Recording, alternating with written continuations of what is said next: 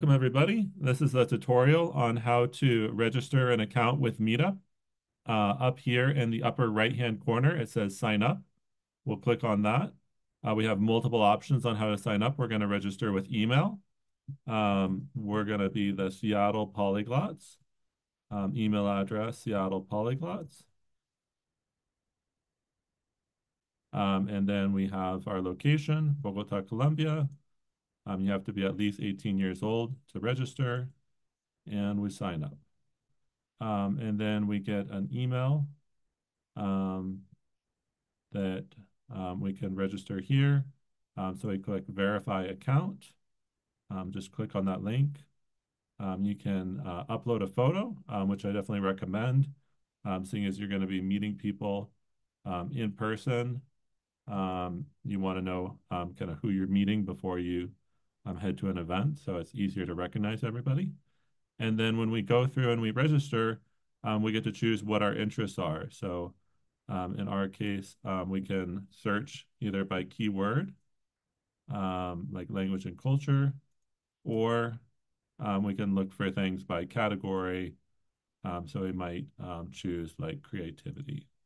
and the more uh, categories you choose, uh, the more uh, recommendations that you'll get. Um, so we'll also say that we're into bird watching. Okay, um, next up, um, we can go and we can join a local group. Um, in our case, we're going to join um, Bogota Language and Culture. Um, based on our interest, it suggests a number of different groups to us. Okay.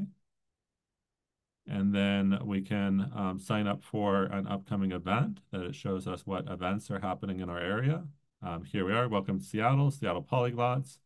Um, it shows us upcoming events that are happening in our area. Um, so we can look at those.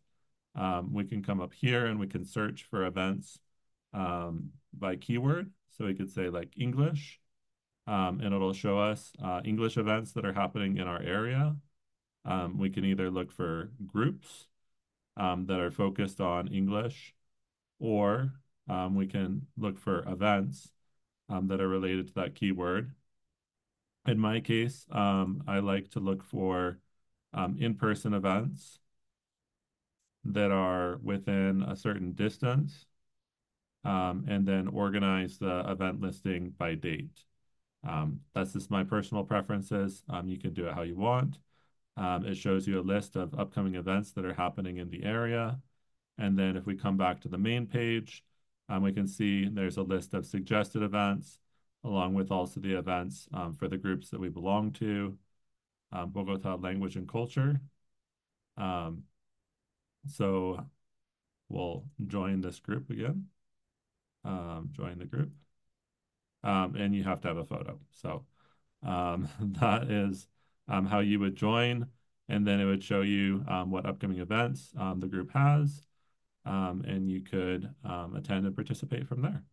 So hopefully that was helpful, and hope to see you at an upcoming event.